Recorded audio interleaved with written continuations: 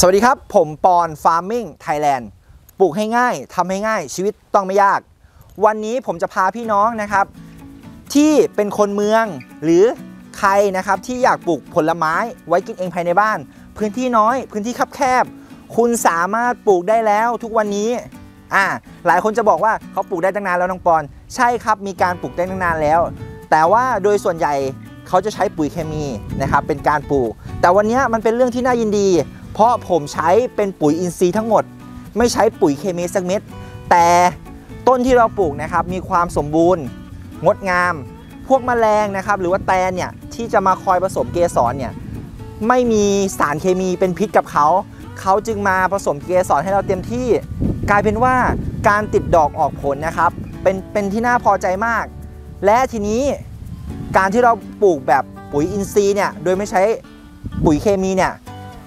มันจะทำได้จริงเหรอทำได้ครับ ตอนนี้ผลของพุทราเนี่ยก็จะมีติดอะลูกประมาณนึงแล้ว แล้วก็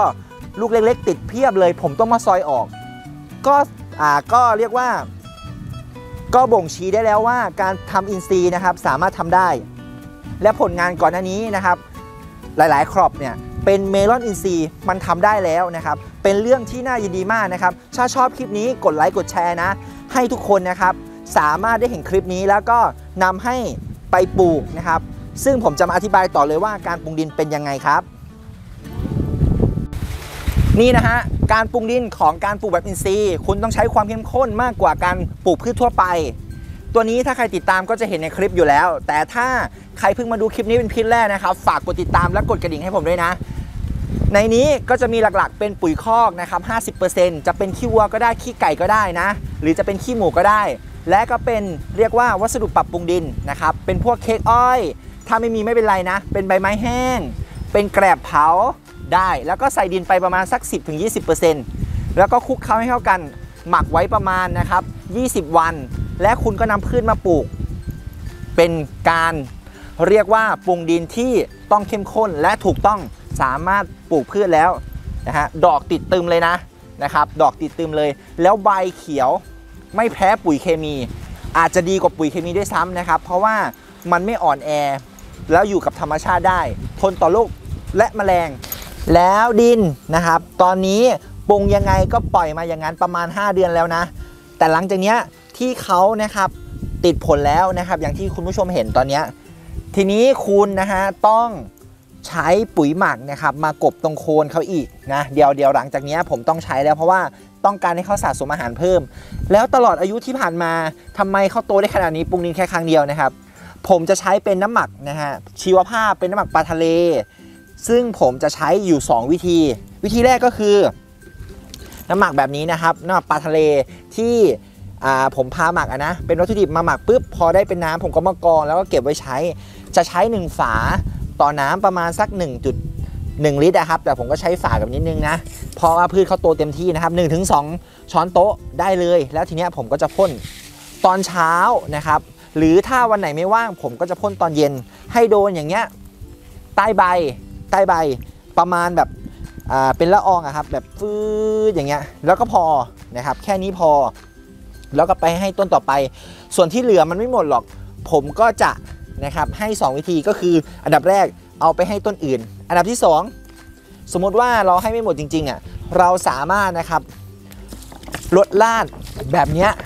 โดยตรงนะครับ อันนี้ก็จะทำให้เขาได้ธาตุอาหารนะครับ แล้วก็จะเป็นการเรียกว่าสะสมอาหารไว้กับลำต้นนะครับ ไว้กับใบ ดูยังไงนะครับ ต้นนะครับอวบอัน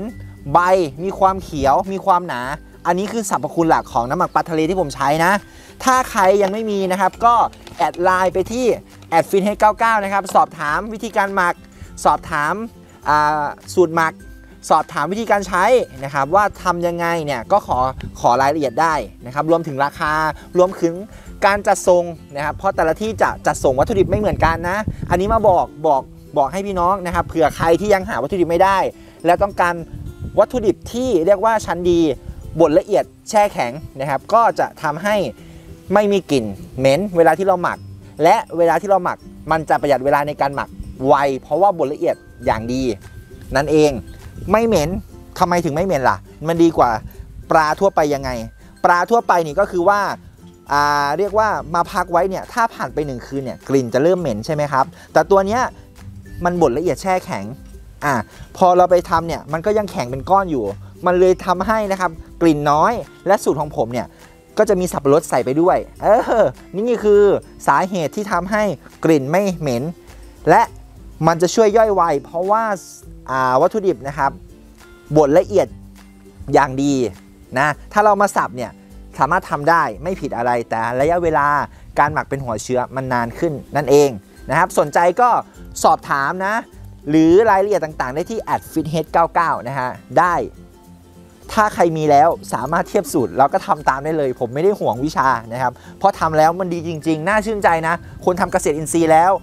มันทำให้เราได้กินผลไม้ที่ดีนะครับ อย่างที่เห็นขั้นต้นนะ ทีนี้สเต็ปต่อมานะครับ หลังจากที่ผมดูแลของเรื่องธาตุอาหารแล้วนะครับ การกำจัดโรคและแมลงของผมครับทำยังไง อันดับแรกผมจะมีกาวนะครับเนี่ยแบบเนี้ยเพื่อป้องกันเรียกว่าแมลงศัตรูพืชที่จะมากัดกินบางส่วนดักออกไป ซึ่งมันก็จะติดแมลงตัวดีบ้างบางส่วนนะ แต่ เรามีไว้สักหนึ่งแผ่นนะครับต่อหนึ่งกระถางจะดีนะแล้วก็อันดับต่อมาผมจะใช้น้ำส้มควันไม้นะครับพ่นทุก 7-10 วันครั้งนะทุก 7-10 วันครั้ง สามารถนะครับใช้ความเข้มข้นมากขึ้น อย่างเช่นเราใส่น้ำหมักใส่น้ำหมักปลาทะเลแล้วประมาณ 1-2 ช้อนโต๊ะ เราสามารถเพิ่มปริมาณของน้ำส้มคันไม้ไปอีก 1 ช้อนโต๊ะได้ ใบไม่ไหม้นะ สามารถพ่นพร้อมอ่าพ่นพร้อมกันได้ ก็จะจบไปทีนี้ ผมจะให้พี่น้องมาดูนะครับถุงที่ผมสั่งมาทดลองนะ ผมจะทดลองทั้งถุงพลาสติก และถุงที่สามารถห่อพุทราจัมโบ้อันนี้ลูกใหญ่นะโดยเฉพาะเลยนะครับเดี๋ยวไปดูหน้างานกันตรงนู้นนะอันเนี้ยถุงใบอย่างเงี้ยฮะใบละ 2 บาทครับพี่น้องครับแบบเนี้ยใบละ 2 บาทนี่นะมันจะเป็นสิบใบเนี่ยก็ 20 บาทอย่างเงี้ยซึ่งก็ลองสั่งมาดูซึ่งสามารถนะครับรียูสนะครับใช้ได้หลายครั้งนะแบบนี้ โอเค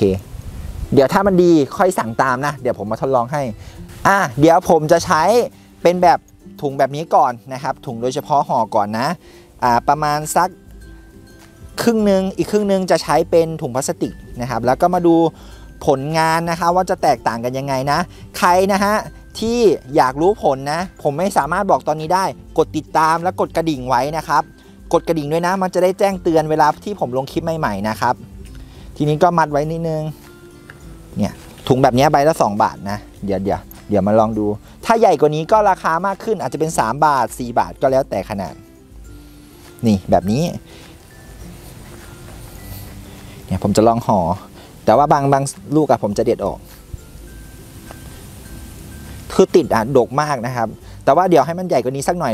ผมก็จะมาห่อให้ลูกประมาณไซส์ประมาณเนี้ยผมจะห่อนะ นี่เลยเวลาห่อมาแล้วจะหน้าตาเป็นแบบนี้ก็โอเคนะ แบบนี้ก็ถือว่าโอเค แต่ก็มีต้นทุน เดี๋ยวไอ้พวกนั้นนะให้มันโตอีกสักหน่อยเดี๋ยวผมจะใช้ถุงพลาสติกลองห่อเปรียบเทียบดูสำหรับท้ายคลิปนะครับ ถ้าใครมีวัตถุดิบอยู่แล้วนะครับ อยากให้ทุกคุณผู้ชมเนี่ยมาหมักเพื่อนะครับจะได้เป็นปุ๋ย เพราะว่ามันสำคัญมาก ถ้าต้นไม้ไม่มีปุ๋ยมันก็ไม่โตไม่ให้ผลผลิตนะครับ หรือถ้าใครไม่มีสูตรหมักก็ไปขอได้ที่แอดฟินให้99 หรือไม่มีวัตถุดิบก็ที่เดียวกัน หรือจะสอบถามวิธีการจัดส่งในแต่ละจังหวัดสอบถามก่อนได้นะ ยินเรายินดีตอบนะครับ หรือว่ามีปัญหาเรื่องการหมักยังไงเราก็ support นะครับ พร้อมบอกวิธีการแก้ปัญหาทุกอย่างนะฮะที่เรารู้เนี่ยเราใส่เต็มที่อยู่แล้ว ยังไงก็ฝากไว้ด้วยครับ มีเวลาทำไว้ เพราะว่า ตัวนี้มันต้องใช้เวลาในการหมัก มันไม่ใช่แบบเหมือนปุ๋ยเคมีซื้อปุ๊บใช้ได้เลย มันเป็นปุ๋ยออร์แกนิก ปุ๋ยอินทรีย์เราซื้อมาแล้วต้องมีการหมักก่อนนะครับแล้วเราก็จะเห็นการหมัก แล้วก็มันไวที่สุดแล้วของเรานะที่เราคิดขึ้นมาเนี่ยพอบดละเอียดแช่แข็งเรื่องกลิ่นเรื่องความไวก็คือดีที่สุดแล้วนะตอนนี้นะครับไม่มีเจ้าไหนดีเจ้านี้แล้ว ถ้าสนใจก็แอดไปได้ที่ @fithead99 เจอกันใหม่คลิปหน้า ผมหวังว่าทุกคนจะมีปุ๋ยดีๆไว้ใช้ และก็มีพืชดีๆไว้กินนะฮะสวัสดีครับ